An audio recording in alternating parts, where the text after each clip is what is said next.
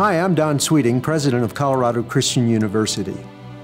The week between Palm Sunday and Easter has been given many names Great Week, Passion Week, Holy Week. It's been called by some the most profound week in the history of humanity. Christians refer to it as the week that shook the world. More important than the day man stepped on the moon. More important than when the 13 colonies declared their independence. More important than when the Berlin Wall fell and communism collapsed. Because it was on this week that Jesus died and rose again. The New Testament itself highlights the very importance of this season. One third of the Gospels focus on this week, one third of Jesus' works, one third of his words.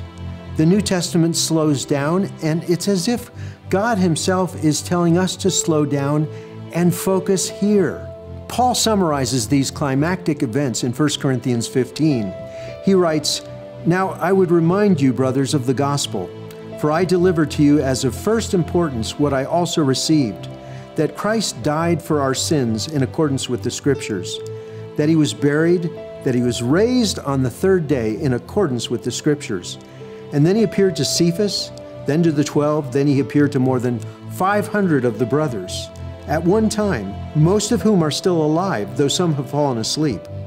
Then he appeared to James, and then to all the apostles, and last of all, he appeared also to me. The brilliant musician J.S. Bach, in his chorale, the St. John Passion, penned these lines. He wrote, How and why our Savior died, we must ponder truly. So we hope you'll take time in the coming week to ponder deeply the things that God in Christ has done for you, that you'll take time to worship at your church and attend the services, that you'll take extra time in personal devotion to understand the atonement and the resurrection of Jesus. And by the way, there's a lot of excitement on the campus of Colorado Christian University these days, not just because it's Easter season and springtime and the daffodils are blooming everywhere, but because we're about to start another building, a new residential building for students. We're entering yet another year of record enrollments.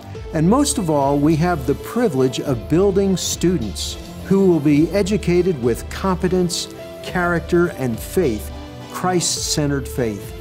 So I want to thank you at the beginning of this season for helping us, for encouraging us, for praying for us, for supporting us in many different ways, for your generous giving.